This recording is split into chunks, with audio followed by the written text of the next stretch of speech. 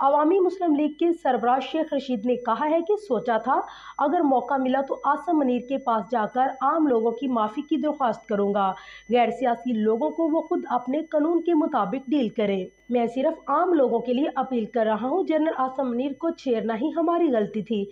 निजी टीवी को अपने इंटरव्यू में कहा कि मैं 40 दिन के लिए चिल्ले पर गया था, खबरें तो लगती रहती हैं। अल्लाह ने ज़िंदगी में 40 दिन लगाने का मौका दिया।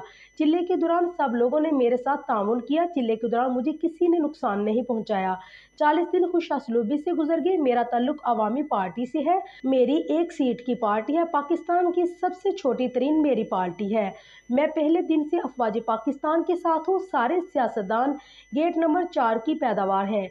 एक दिन बाजवा ने पूछा कि गेट नंबर चार कहाँ है? मैंने कहा यह गेट नौ की तरफ़ चला गया होगा। अख्तर अब्दुलरहमान की वजह से मैं काउंसलर बना। पहले दिन से अपनी अफवाज के साथ हूँ।